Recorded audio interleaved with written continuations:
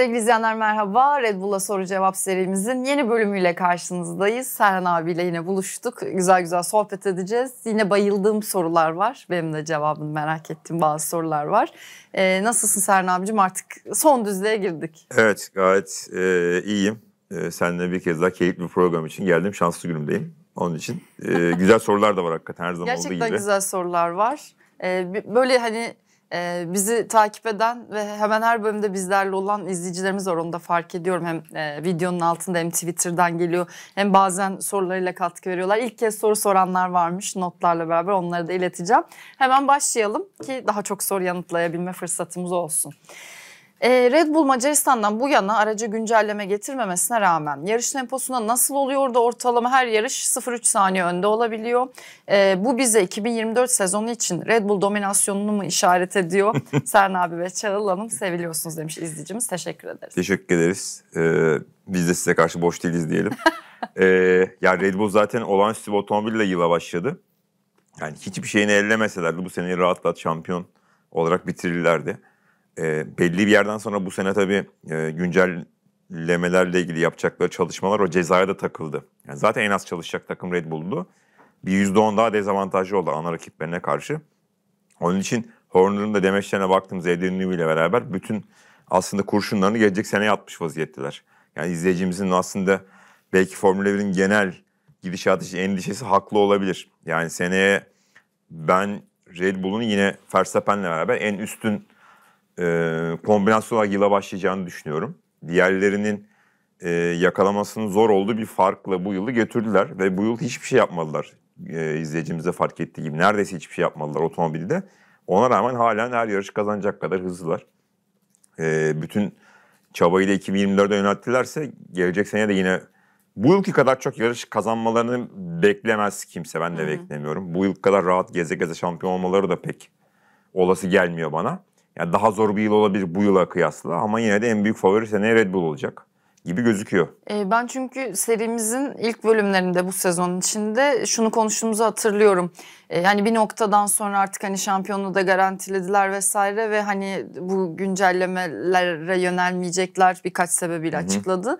Oralarda belki işte e, birkaç yarış çalabilen markalar kendini gösterebilir falan derken o, o senaryoyu yaşamadık gerçekten. Bir de genel olarak şu oluyor yani yer etkisi çağında halen ikinci yıldayız. Daha önce de konuştuk bu sistemi en iyi çözen, en çabuk çözen, en verimli kullanan takım Red Bull. Red Bull'la beraber diğer takımlar da sene içerisinde kendi otomobillerini daha iyi anlıyorlar. Yani hiçbir şey eklemeseniz bile işte sene başı sene sonu arasında otomobili optimum olarak ayarlama ve yarıştırma açısından takımlar zaten ileriye gidiyor. Onun için yani baz otomobil aynı kalsa bile genel olarak takımlar sene sonuna doğru zaten daha hızlanmış oluyorlar. Yani lastikleri nasıl kullanacaklarını daha iyi yakalayabiliyor. Aerodinamik haritayı nasıl ayarlayacaklar işte yere basma gücüne karşı sürüklenme bu bitmek tükenmez bilmeyen bir e, aslında ikilem her zaman takımların karşısında olan. Bütün bunlarla beraber işte güç ünitesi ayarları vesaire derken aslında herkes otomobilini zaten daha iyi anlıyor sene sonuna doğru. Biraz onun da etkisi olabilir. Hı hı. Ama ilk günden bu yana yani yer etkisi çağının Ferrari ile şahane başladığını hatırlıyorum 2022'nin başında. Ama iki tam sezona vurduğumuzda bu işi tam anlamıyla baştan sona çözen, en iyi anlamış olan, en doğru performansı yakalayan takım Red Bull. Onun için zaten ellerinde belki de diğerlerinin halen gelemediği kadar fazla bir birikim var. Onu gelecek sene yansıtırlarsa yine zor bir sezon bekliyor diğer Böyle rakipleri. her şey. Ee, Karaağaç Musti. Ee, öncelikle iyi yayınlar seviliyorsunuz demiş. Mustafa Bey birkaç sezondur buralardasınız. Ee, fark ediyoruz. Teşekkür ederiz. Diyor ki Mustafa Bey, Helmut Marko yeni Verstappen'i aramayı bıraktığını çünkü öyle birisinin olmadığını söyledi. Sizce kastettiği Max'ın eşsiz pilotaj yeteneği mi yoksa bitmek bilmeyen kazanma arzusu mu? Kısaca yeni Verstappen çok uzaklarda mı diye. Herhalde ikisinin kombinasyonu artı bireysel bir hayranlık da var. Red Bull'un çünkü Sebastian Vettel gibi hani net bir ürünü e, Max Verstappen. Şampiyonluğa taşıdığı muazzam bir seçim aslında çok e, küçük yaşlardan itibaren. Aslında bir buçuk sene içerisinde kartingden Formula 1'e geldi neredeyse Verstappen. Ve Helmut Marko e, yani yıllarda şunu biliyoruz. Sevdiği pilotları göklere çıkartıyor. İşte sevmediği bir şekilde performansı yeterli bul- bulmadığı bütün pilotları da gömüyor. Yerden yere vuruyor. Onun için onun her yorumuna böyle tam anlamıyla evet yüzde yüz doğrudur gibi de bakmamak lazım. Ama hani dediği kombinasyon e, hakikaten ortada büyük bir e, başarı serisi olarak zaten gözüküyor. Yani hakikaten ana rakiplere dahil olmak üzere herkes artık Verstappen'in işte onlarca yılda bir yakalanabilen yeteneklerden birisi olduğunu e, teslim ediyor rakipleri de bu hakkı hakikaten teslim ediyorlar. Öyle de gözüküyor şu anda bile. İşte Formula 1 tane en büyük 10 isimden birisi haline geldi istatistik olarak baktığımızda daha bu yaşta. Onun için yeni bir Verstappen'i bulmak hakikaten zor. Bir daha bulur mu birileri? Red Bull bulur mu? Onu da bilmiyorum. Yani bu çünkü hakikaten bir 10 yılda bir gelen ve o dönemi domine eden sürücülerin e, arasına Verstappen'i şu anla itibaren herkes yazdı zaten. Ee, bir sonraki soruyu da hemen buraya bağlayayım. İzleyicimiz diyor ki Verstappen'in Red Bull kariyeri olarak bugün itibarıyla Vettel'in üstüne koyabilir miyiz? Biraz Vettel'den de bahsettiğin için e, tam güzel bir soru denk geldi.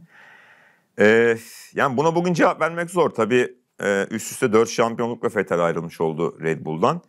Ee, geçen seneki ve bu seneki kadar üstün otomobili Vettel'in ne zaman vardı? Muhtemelen bir de 2011'de vardı. 2013'te de 9 yarış üst üste kazandı ama sezonun ilk başlangıcı bu şekilde değildi. Ee, ve işte lastiklerin değişmesinden sonra Red Bull çok hızlandı o yıl.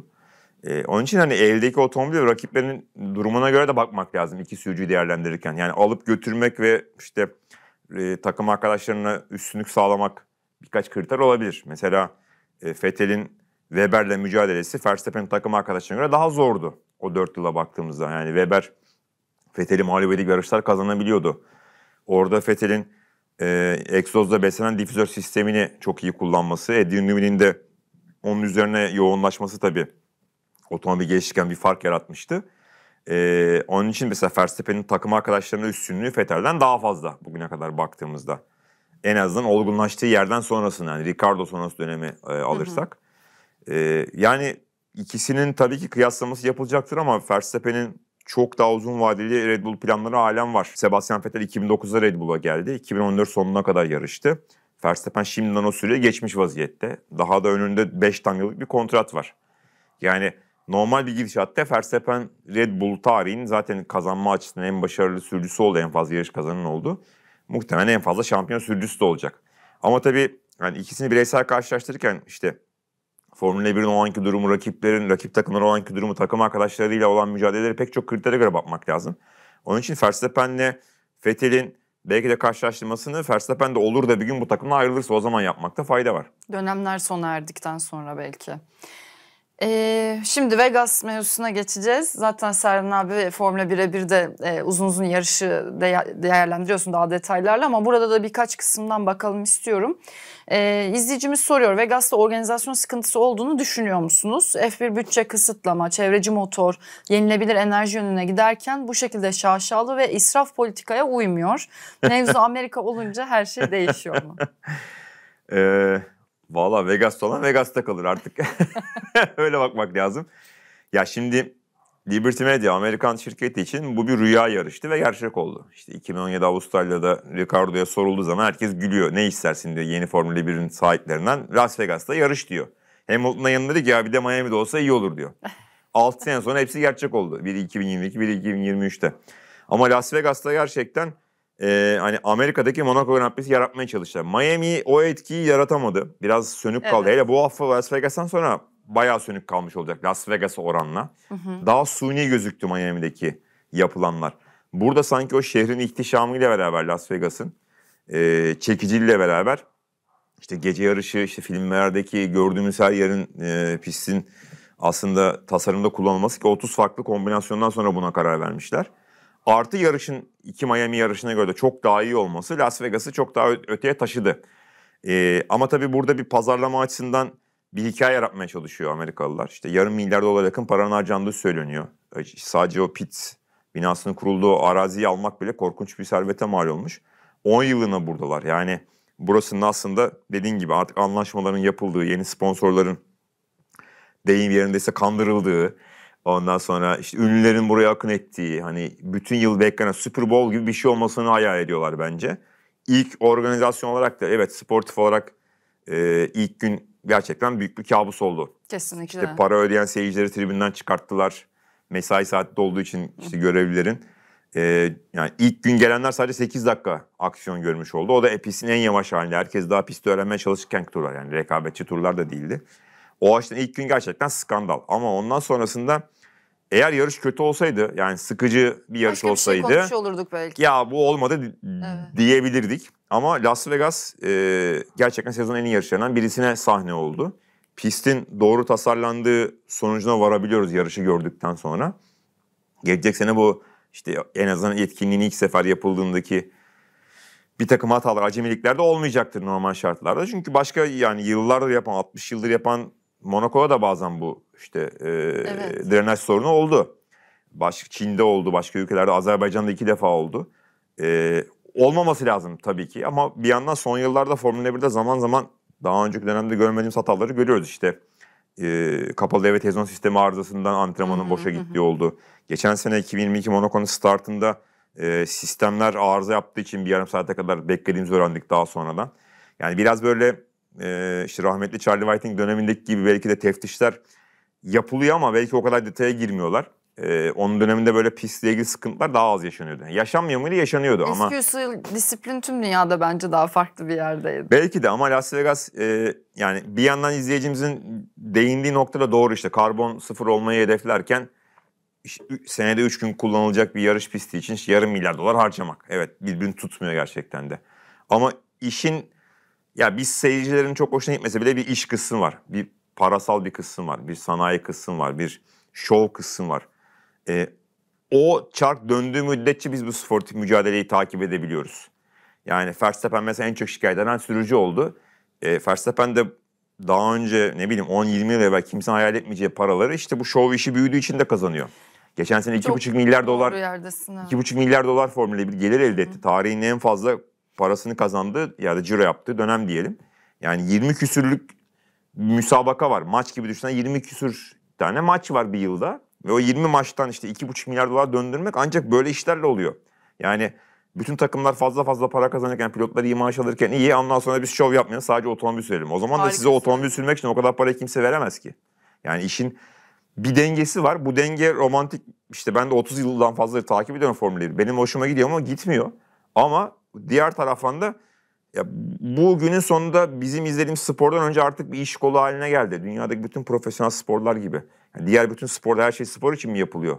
Her şey rekabet için mi yapılıyor? Hayır.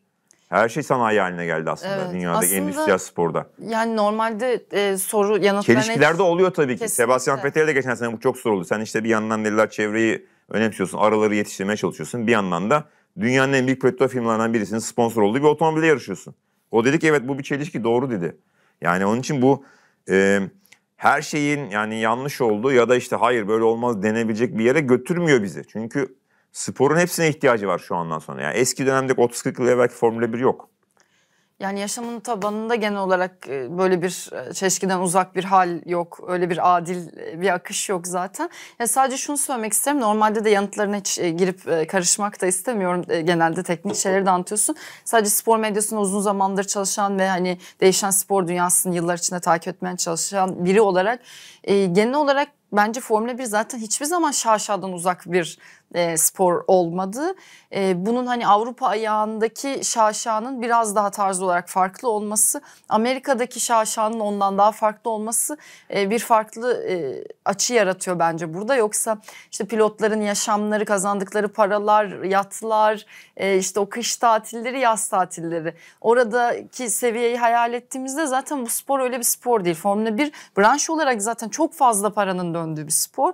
Dolayısıyla bunların kaynakları belki de yeni dünyada biraz daha belirgin e, veya açılmış yeni yollar daha büyük kaynak e, haline geldiği için de daha dikkat çekici oluyor. E, Şimdi şunun da ben önemli olduğunu düşünüyorum açıkçası. Pek bayıldığım yaşamlar olmasa da özellikle Amerikan popu hiç ilgimi çekmez ama e, sizin orada hani bitiş e, çizgisini geçtiğinizde damalı bayrağınızı Justin Bieber sallıyorsa e, işte Ferrari garajında Rihanna oturuyorsa ki hani gerçekten dünyanın en ünlü insanlarından bir tanesi. Bunu yaratabilmek de o cazibenin parçası olmak da değerlidir.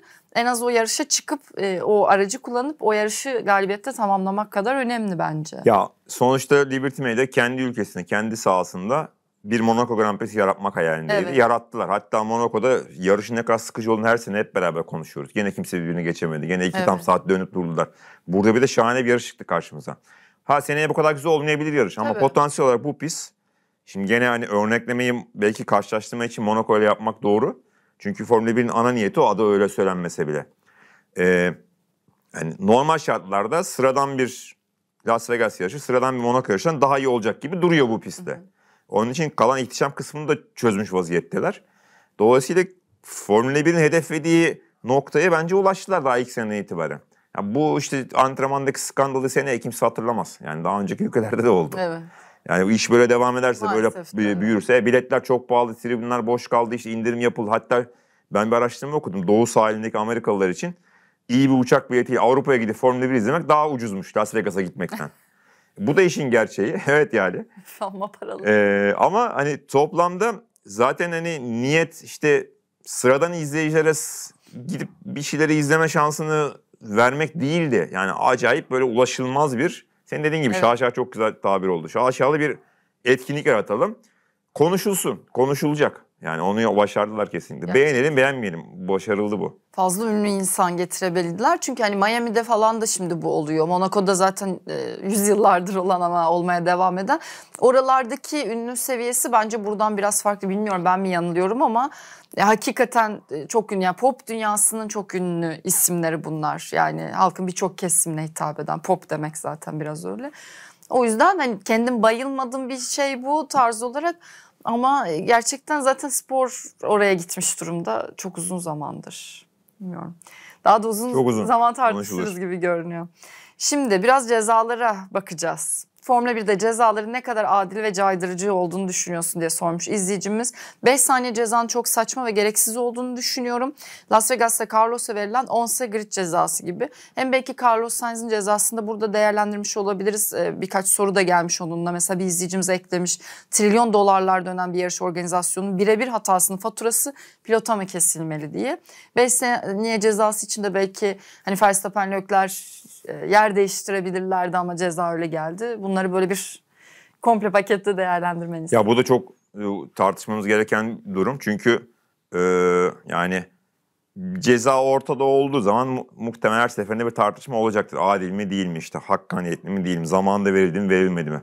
Formula 1'de genel olarak son yıllarda Kantar'ın topuzunun bu konuda iyi tutturamadığını söyleyebiliriz. Yani cezalar bazen çok geç oluyor bazen hiç olmuyor. Bazen işte pist limiti gibi çığırından çıkabiliyor. Binlerce ihlal karşımıza çıkabiliyor. İşte bazen televizyonu kapatıp uyuyoruz sabah yarış tamamen değişmiş oluyor klasman. Tabii çok parametre var. Çok teknik bir spor Formula 1. Ee, aynı anda çok şey oluyor. Ben yani komiserler kurulu 4 kişilik bir heyet olarak karar vermeye çalışıyorlar. Ee, çok uzun yıllardır ben de hani Türkiye Grand Prix'lerinden bu yana bu sistemin nasıl döndüğünü bizzat yaşadım, görüyorum. Ee, ellerindeki o kadar veriye rağmen yani Formula 1 o kadar çabuk olup biten bir spor ki yani 3-4 tur bir şeye karar vermek için süre geçerken yani 5 dakikadan bahsediyorum bu arada. Evet. Bayağı hayat değişmiş oluyor. Yarışın akışı değişmiş oluyor. Şimdi bu Vegas'ta işte 8. turda galiba Verstappen 5 saniyesi çıkan. Ya ne kadar geç geliyor ama orada ya insanlar- orada şöyle yani bana kalırsa iki sürücünün halen yer değiştirebileceği bir ortam varsa Aha. 5 saniye yerine Onu öne geçmiş kullanmak- olana sen yerini geri ver demek daha adil. Çünkü hı. şöyle bakmak lazım. Bu bugün Verstappen'e yarın Leclerc'e pilottan bağımsız konuşuyorum. Şimdi Verstappen bir şekilde rakibini pist dışına doğru iterek komiserlerin kararı da net olduğu için net konuşuyorum. Kendi de söyledi zaten. Ee, yani onun yolunu bitirerek önünü kapatarak bir şekilde liderliği aldı. 5 tane ceza aldı ama bir Verstappen'in normalde otomobili bu hafta en az orta hamurda yavaştı. Normalde Verstappen o pite gitmeden bu seneki performansı 5 saniye farkı açabilirdi. Yani hiçbir zarar görmeden neredeyse bu olaydan yırtabilirdi. İkincisi önde gitmek her zaman daha avantajlı. Tempoyu ayarlıyorsun, lastiklerini e, daha iyi tutabiliyorsun. Otomobil hararet yapmıyor. Leclerc ona karşılık ilk pite kadar arkasında gitti, takip Evet. etti. Yani önden hep sıcak hava aldı bütün otomobiline. Hem lastikleri için hem normal otomobilin e, güç ünitesi için.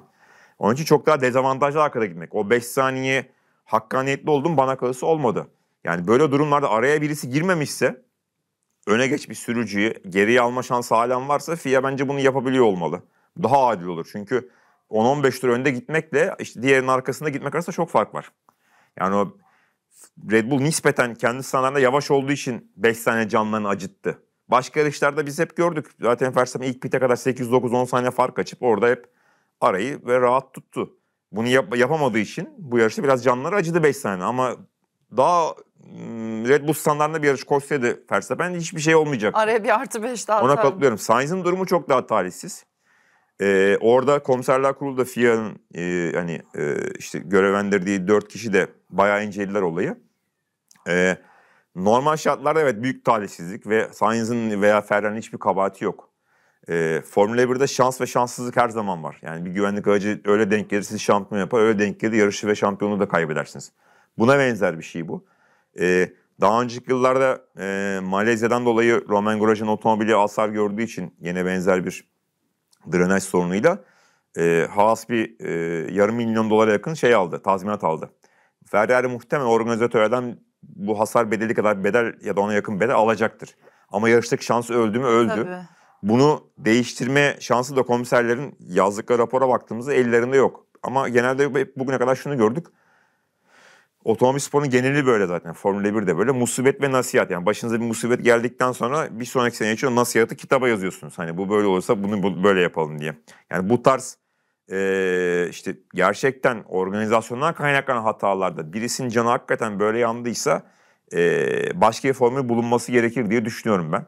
Ha bugün ona yarın öbürküsüne. Şimdi e, Fred Vasseur çok haklıydı Toto Wolff'e e, serzenişte bulunduk. Yani senin otomobilin aynı şey olsa benim dediklerim sen Tabii. diyecektin diyor. O da doğru. Ama Formula 1'de o rekabet öyle fazla ki o Piranalar kulübü diyorlar işte padoktaki takım patronların muhabbetine. Yani herkes kendi çıkarının ölümüne sonuna kadar savunuyor. Yani umuru değil oradaki adalet, işte sporun genel iyiliği, hani büyük resim. Bunlar genel olarak umurlarında değil takımların. Onun için koltukları değişse Fred Vasseur de Toto Wolff'un yaptığını yapardı büyük ihtimalle. Yani aslında o da güzel bir bakış açısı. Yani hem Toto Wolff'un o yüzden daha anlayışlı olması lazım, empati kurabilmesi lazım. Çünkü o, o pozisyonda olsaydı Serzeniş'te bundan taraf olacaktı ama Vasseur de çok kahraman ilan edildi yani cengaver bir konuşma e, diye. Ama onun da altında tabii ki kendi e, hani gördüğü hasar bir nebze yatıyor olabilir. Tamam önemli bir motorsporlara aşığı bir insandan bahsediyoruz ama e, biraz değerlendirirken o acıya da bakmak lazım. Çok Evet yazık yani yer değiştirse yani. ne olur kısmına bakmak lazım. Ya hakikaten Sainz'e yazık oldu ve yarışın kaderini de etkiledi. E, Çünkü tabii.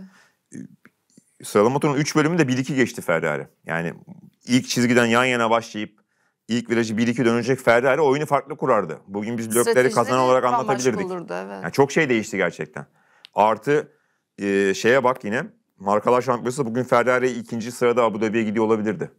Yani Sainz'in normal Evet. bir hafta sonu koşabilmesi ihtimalinde, daha doğrusu her şeyin normal olması halinde bugün çok farklı bir yarış sonucu da konuşuyor olabilirdik. Ferrari kazanmış olarak da bugün konuşuyor olabilirdik. Evet o yüzden hem araçlı hem genel olarak ciddi bir hasar almış oldular bu durumla da birlikte. Evet bir sonraki sorumuzda Piastri var. Ee, Oscar Pi- Piastri'nin kariyer başlangıcı takımın McLaren olması, beklenmedik başarıları, potansiyeli, soğuk tavırları gibi yönlerden bakınca Kimi Raikkonen'i kaçıranlar ve yeniden izlemek isteyenler için Oscar Piastri diyebilir miyiz? Ya da çok özlediğim için saçmalıyor muyum izleyicimiz. Yo saçmalama gibi gelmedi bana yani bayağı güzel paralellik yakalamış izleyicimiz. Ee, yani tabii şey e, Raikkonen Sauber'de başladı. ikinci yılında aslında şeye gitti McLaren'a gitti ama yıldızlaştı ve herkese kendini gösterdi yer McLaren. Ee, Piastri'nin çaylak yılında yaptığı iş gerçekten çok e, çok başarılı. Kendine çok güveniyor, çok emin. Ee, yani öğrendiğimiz kadar çok çalışıyor perde arkasında. Onun için parlak bir geleceği var yani. Geleceğini o yarışlar kazanabilecek, şampiyonla oynayabilecek bir görünümü bugün bize gösterdi. Tabii oraya kadar evrilebilir mi onu bilmiyoruz. Bazen pilotlar böyle muazzam potansiyelle başlar ama gerisi gelmez. Ya o şansı hiç bulamazlar ya o şansa doğru gittiklerinde beklenen sıçramayı ya da kendi gelişimini, öz gelişimi sağlayamazlar. Ama hani derler futbolda bir kumaş var. Hani kazanan kumaşı var gerçekten. Onun için umuyorum onu hani e, doğru şekilde geliştirip yönetebileceği e, şanslar karşısına çıkar. Çünkü hakikaten heyecan verici bir yetenek var karşımızda. Ee, selamlar severek takip ediyorum bütün soru cevapları. İlk defa soru sormak istedim demiş izleyicimiz. Ee, her zaman bekleriz kapımız açık. Ee, Russell için tren kaçıyor mu acaba? Geçen sene iyi gözüktü ama bu sene her yarış haftası ayrı bir sıkıntısı oldu. Aşağıdan Kimi Antonelli gelirken de Lewis Hamilton bu kadar iyiken Russell için çanlar çalıyor mu? Yok ya çal, çalması için daha çok erken. Yani. Bir kere bu seneki otomobil öyle e, hani her hafta şahane işler yapabileceğiniz bir otomobil değil. E, Russell geçen sene bundan daha kötü bir otomobille işte ilk geldiği yılda Hamilton'a karşı bundan daha iyi bir yıl geçirdi işin toplamında. Bu sene şanssız yarışlar da çıktı karşısına Russell'ın. Kendi performansı da Yani öyle Williams'ı gördüğümüz kadar istikrarlı değildi işin açıkçası. Ama hani şu anda Russell'ın hemen üstünü çizmek ya da hani olasılık olarak gelecekte ya biz bununla yolları ayırırız demek için çok erken. Çünkü öyle ortada bireysel olarak çok büyük hatalar işte her şeyin çöpe atıldığı bir takım durumlar yok. Biraz hani bu senenin genel zorluğu Russell'ı belki tecrübesizliğiyle Hamilton'a karşı biraz daha kötü etkiledi. Bir de şöyle bir şey var muhtemelen. Yani e, geçen sene Russell bana kalırsa ilk yılında beklenenin ötesinde bir iş çıkarttı Evet. Hamilton'a karşı. O kadar da kötü bir otomobille yani tek pol ve tek yarışı kazandı geçen sene toplama baktığımızda. E, bu sene belki biraz kendisinin gerisinde kalmış olması belki böyle bir algı doğurmuş olabilir ama Yani beklentiyi belki yukarı Yani taşımıştı zaten hızlı bir şekilde. Russell'a Mercedes Williams öncesi yıllardan bu yana yatırım yapıyor. Onun için daha böyle üstü çizilecek bir performans yok kesinlikle. Ve bence Mercedes de ona henüz hazırlıklı değil. Çünkü Lewis sonrası döneme dair zaten soru işaretleri. Ya böyle bir de- değerlendirme olması için Russell'ın böyle nasıl söyleyeyim yarış kazanabilecek, düzenli kazanabilecek otomobilde bir yılını görmek lazım. Yani oraya kadar kendi dem az önce Piastri'ye de benzer bir şey söyledik. Yani Russell da mesela Piastri gibi Formula şimdi alıyorsun. Yani Formula 3 ve Formula 2 üst üste kazanan çaylak isimler. Charles Leclerc yine bunlar acayip büyük başarılar yani. Bir gittiğin seride ilk yılda şampiyon olmak çok büyük iş. Tabii. Onun için Russell yani geleceğin şampiyon adaylarından birisi. Ama hani bunu biraz dediğin gibi bir sezonu koşacak bir otomobille çıkabildiğin anda da görebiliyorsun. Hatta bazen şu da oluyor. İlk yılında bu başarıyı yakalayamıyor sürücüler ama gelişerek ikinci, üçüncü şans denk gelirse onu da yapabiliyorlar. Onun için çok erken Russell Mercedes'in hala bence en azından 3-4 senelik planlar arasında ortada duruyor. Evet. Ee, şimdi DRS ile ilgili güzel bir sorumuz var. Aramızda da konuştuğumuz e, çalışma arkadaşımızdan da gelen bir soru. Akan yarışta iki yakın araç DRS bölgesine girdiklerinde arkadaki pilot DRS açma hakkını elde edeceği bir saniyelik farkın altında olup olmadığını hangi anda kimden veya ne şekilde öğreniyor? Saliselik hatalar yüzünden DRS kanadının yanlışlıkla açıldığına neden hiç şahit olmuyoruz demiş. Biraz e, senin aslında aracın içine oturmuş olacağız bu soruyu sen yanıt. Ya bu sistem çok komplike. Ee, ilk yıllarda ara ara sorunu oluyordu. Hatta kullanımı da farklıydı. Mesela ilk başladığında DRS pistin her tarafında serbestti sıralama motorunu. Kafana göre açabiliyordun. Sonra işte sırf hani bel- belli bölgelerde yarışta aslında bunun amacı neydi? Yarışta geçişleri kolaylaştırmak. Tur zamanını iyileştirmek için gereken bir önlem değildi bu. Daha doğrusu ilk ilk amaç bu değil DRS'e geldiğinde. Ee, şu anki sistem şöyle işliyor. Zaten işte piste göre 2 veya 3 DRS al- alanı oluyor genelde. Bunlar için genelde 2 veya 3 tane e, aslında e, ölçüm noktası var. O ölçüm noktasında FIA'nın elektronik sistemi, bütün otomobillerde çalışan bayraklar da aslında bununla bağlantılı. Öndeki ve arkadaki otomobil arasındaki farkı devamlı ölçüyor. Bir saniyenin üzerindeyse fark 1.2 saniye. O zaman arkadaki sürücü zaten sistemi aktive edemiyor o DRS bölgesinde. Bir sonrakine kadar tekrar o fark kapatmaya çalışıyor. Onun için hani sürücünün böyle kendi kendine bir farka bakıp tamam ben buna basayım dediği bir durum yok eğer gerideyseniz. Bir saniye altındaysa aktivasyonu yine sürücü yapıyor. Sistem otomatik çalışmıyor. Arka kanat kendi Orada kendine. yine manuel olarak Bizim seninle aramız 0.9 senesi benim arka kanadım kendi kendine açılmıyor. Yine düğmeye basması lazım sürücünün. Aha. Ve e, frene bastığı anda da otomatik kapanıyor sistem. Çünkü o e, ye- yeniden hava akımının sağlanması o da çok kritik. Çok çabuk olması gerekiyor bunun. Hataya mal vermeyen bir sisteme oturtmuş vaziyette FIA. Çok benzerini şeyden anlatacağım. Dolayısıyla direksiyon üzerinde aslında DRS'i açabileceğini görüyor sürücüler. Yani e, fark o bir saniye altındaysa zaten ölçüm noktasından sonra aktivasyon geldiği için ölçümde nerede olduğunu görüyor sürücü. Hatta bunu çok iyi kullanabiliyorlar zaman zaman işte karşı atak yapmak için, akıl oyunları oynamak için, işte birkaç metrede geride kalmak için mahsus. Ee, buna benzer şeyleri de görüyoruz. İşin gerçekten strateji kısmında da önemli hale geldi. Yani onu nasıl kullanacağını, bu bir Evet. silah. Batarya da bir silah mesela. Bazen sürücülerin işte mahsus geride kaldığını görüyoruz. Batarya doldurduğu birkaç turdan sonra atağa kalkıyor. İşte rakibinin bataryasını bitirtmeye çalışıyor. Bunlar çok keyifli şeyler aslında Formula 1'in.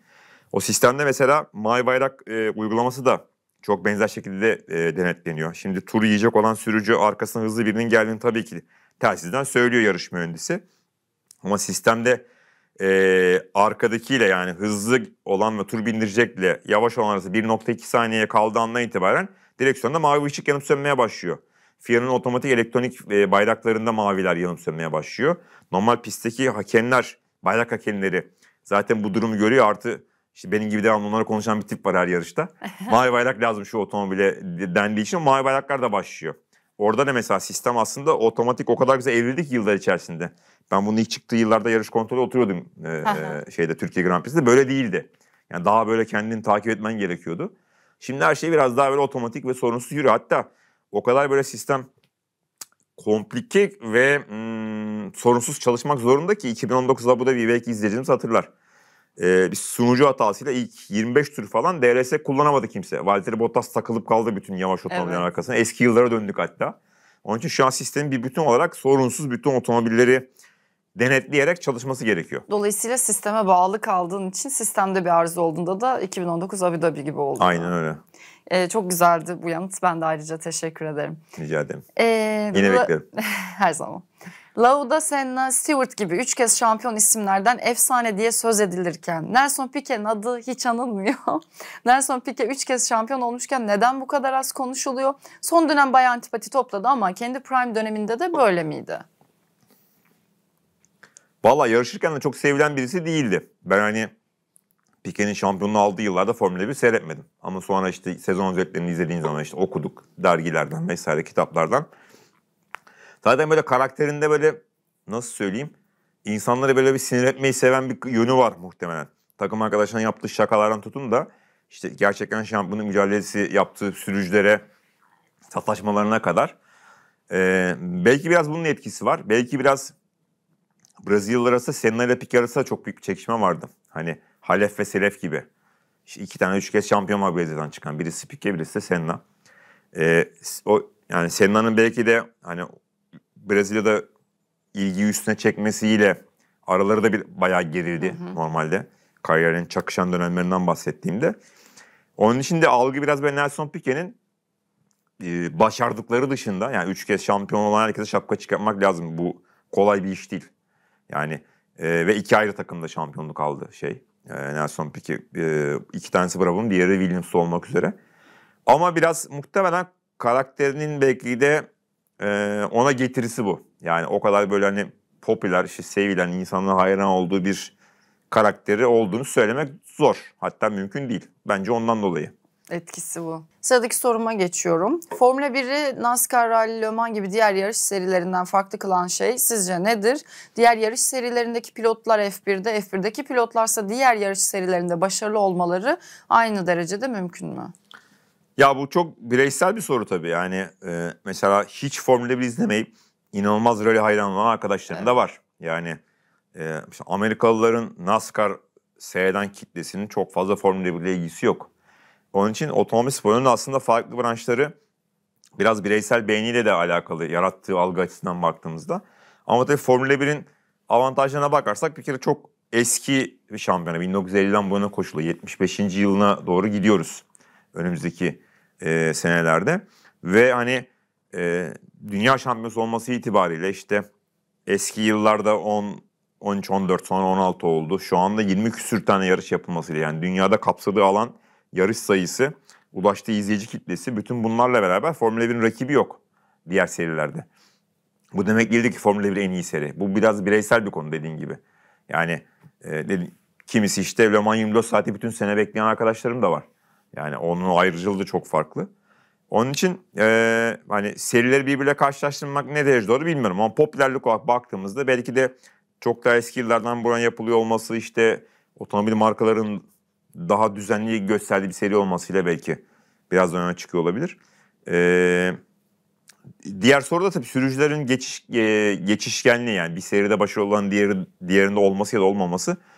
Bu da çok e, ne- net cevap vermenin kolay olduğu bir soru değil. Çünkü e, Formula 1'den çıkıp işte DTM yarış kazanan isimler var. İşte Le Mans 24 saat kazanan var. Nico Hülkenberg gibi, Fernando Alonso gibi şampiyon olan var. E, Formula 1'de başarılı olamayıp IndyCar'a gidip şampiyon olan isimler var. Yani o biraz seriden seriye, pilottan pilota, takımdan takıma, otomobilden otomobile değişiyor. Ama genel olarak yani pist branşlarındaki sürücülerin Formula 1'de bir şeyler başlayan isimlerin diğer serilerde de normalde yarış kazanacak kadar iyi olduklarını görüyoruz. Ama şampiyonluk yakalamak ayrı bir şey tabii. Hani rally'yi ayırmak lazım o çok başka bir şey. Yani e, rally sürücülerin özellikle dünya rally şampiyonu seviyesinde yaptıklarını yani bazen inanmak mümkün değil o ağaçların arasında gitti ama çünkü Formula 1 sürücüleri genelde korkarlar. Yani e, rally'deki işte risk muhtemelen Formula 1'den daha fazla olduğu için daha kısa zaman önce David Coulthard ve Mika Hakkinen Kalle Rovanpero'nun yanına oturuyor bir e, özel etkinlikte. E, Hakkinen yukarı çıktıktan sonra bir etapta tırmanıyorlar aşağı iniyorlar. Aşağı inmek istemiyor ben burada kalayım diyor. Coulthard bir çıkıp tekrar geri iniyor. Hatta sataşmış işte e- eski takım arkadaşına. Onun için rallideki risk algısı pistlerden çok çok farklı. Çok başka bir boyutta yani. E, ve orada hani oradaki e, bir pilotun bir seriden diğerine geçmesi çok çok daha zor. Kimi Raikkonen bunu denedi bu arada biliyorsun. Evet evet. Hatta kariyerindeki en iyi rally sonucu Türkiye Rallisi 2010 İstanbul'da oldu. Çok Beşinci oldu genel klasmanda. Yani bana açıkçası bütün bu branşlarda böyle başarıyla e, var olan herkes yani bu başka bir gezegenden e, geyiği Ya onlar otomobil bence- kullanıyorsa biz o, o başka bir Evet şey yapıyoruz yani. Bana çok başka Ya bir- onlar başka bir şey yapıyor ya biz. Ben daha yeni hani pistte böyle bir deneyim yaşadım biliyorsun. Gerçekten çok farklı ve zor. Yani anlamak çok mümkün değil. Dolayısıyla çok saygı duyuyorsun. Ve öğrendikçe de aslında sporun içinde olan biteni e, daha fazla saygı duymaya başlıyorsun. hayranlığa da Yapması artıyor. Çok güç. Sainz ailesi şah- şahane mesela. Yani her telden çalıyorlar müthiş. Ee, şimdi tatlı bir sorumuz var. Seni biraz düşündüreceğiz. Formula 1 tarihinden tasarım olarak en çok hoşunuza giden ikonik kasklar hangileri? Yani herhalde en ikonik kask Senna'nınki. Evet. Benim bireysel sevgim dışında da böyle en çok bilinen. Kesinlikle ama öyle. Yani hem gerçekten çok güzel e, ki karting dünya şampiyonasına gittiğinde Brezilyan renkleriyle yarışıyor. Oradan sonra da renkleri kaskına aslında adapte ediyor ve bütün kariyeri aynı. Bernie Eccleston- İkonik e, belki de söylemenin tam karşılığı oluyor Aynen. bence o kask. Hani güzellik kötülükten başka artık sembolize ettiği şey e, Ama çok güzel bir kişi, yandan bir da. branş hem çok güzel ama artık hani orada bir hikaye de anlatıyor o kaskı gördüğünüzde aklınıza bir kariyer geliyor. Evet. Yani ben Senna'nın kaskını görmeden bir günüm geçmiyor. Mutlaka bir yerlerde karşıma çıkıyor Evet. işte. O arabanın anahtarında, bilgisayarda vesaire. Benim de evimde tablosu var. Ee, ofiste de var. Ee, saygıyla analım. Senna'nın kaskı dışında aklıma ikonik deyince Schumacher geliyor. Özellikle 2000 sonrası Ferrari döneminde kıpkırmızı yaptıktan sonra kaskını. İşte tepesinde dünya şampiyonluğu kadar yıldızları koyarak çok e, böyle uzaktan gördüğün zaman Schumacher'in geldiğini anladığım bir kasktı. Daha eski yıllarda Graham Hill ve Damon Hill'in kaskları benim çok hoşuma gidiyordu. Ee, Londra'daki bir kürek kulübünün e, logosuna esinlenmiş Graham Hill. çok güzel. Damon da oldu onun aynısında neredeyse yarıştı kask olarak. Ben hani sen söyleyince şimdi programda önce sohbet ederken girip baktım. Çok güzel gerçekten. Ee, şeyin Nelson Piquet'in az önce bahsettiği kask çok ikoniktir. Kariyeri, kariyeri boyunca değişmemiştir. Jackie Stewart'ın İskoç esintileri olan kask tasarımı. 70'lerde gerçekten güzel. James Hunt'ın kendine özgü o zaman için simsiyah üstünde kendi adı yazan. Benim yine favorilerimden biri var. o. Yani çok sade ama işte hani gördüğünüz an ikonik tam James Hunt. Ben Alesi'nin kaskını seviyordum ama belki sevdiğim için bana güzel gördü. Elio De Angelis'i o da hep e, atıfta bulunmak için öyle bir kaskla yarıştı. Hakine'nin kaskı güzeldi. Yine böyle kariyeri boyunca değişmedi. Ben mesela Bernie Eccleston'ın öyle bir ara takıntısı vardı. Hatta sürücülere kask değiştirmeyi yasakladı bir ara. Yani FIA yasakladı daha doğrusu. Senede bir kere sadece işte bir tek Monaco gibi özel yarışta ya da kendi evindeki yarışta e, kask değiştirebiliyordun. Kalanında hep aynı olsun diyordu. O çünkü 60, 70, 80'li yıllardan gelen bir mantık var. Yani bir sürücüyü kaskıyla hafızana yazıyorsun aslında ve eski dönemde otomobilleri tanım ayırmak da şimdiki kadar kolay değildi işte kamera vesaire gibi farklı renk olmadığı için. Kask araçla birlikte Kask, en temel evet. şey. Ve kask aslında sür, iki sürücüyü birbirine ayırmak için de kullanılıyordu kask tasarımları.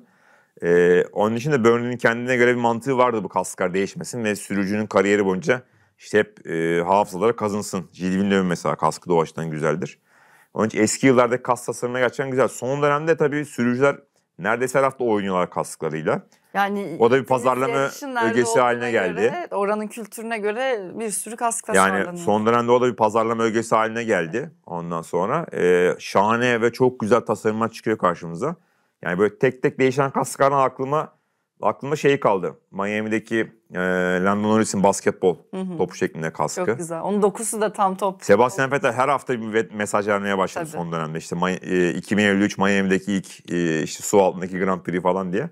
Ama çok güzel tekil oynamaları da gördük. Çok güzel mesajları da gördük son yıllarda. Bu sezon e, Hamilton'ın Japonya'daki kaskı çok güzeldi. Ya bu konu Vettel işte- bir ara neredeyse her hafta oynuyordu kaskıyla. Tabii. E, her yere ayrı Macaristan'a da galiba ayrı yapmış diye hatırlıyorum.